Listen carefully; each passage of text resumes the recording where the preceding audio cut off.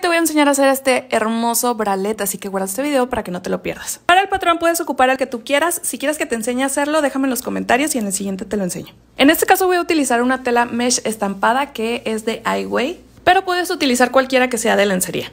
En total necesitamos cuatro piezas, dos para cada lado. Vas a coser por la parte curva, por aquí. Esto lo puedes hacer con tu máquina casera, con una puntada en zigzag correcta o con tu over. Yo lo voy a hacer con la over. Es importante que siempre empieces de la base hacia la punta para que no tengas problemas después.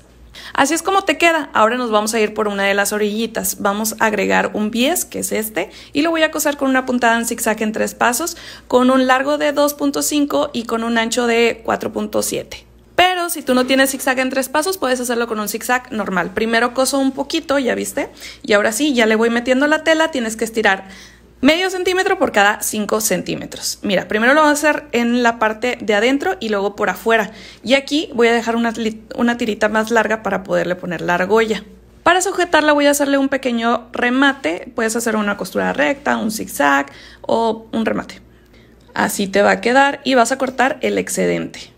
Después vamos a poner los tirantes, yo le puse el ajustador, pero es opcional, lo puedes poner hacia atrás o simplemente pues nada más la tira o coserlo directo, como tú quieras. Para la base puse otro tirantito, me fijé que fuera la mitad y crucé estas dos copitas por un centímetro.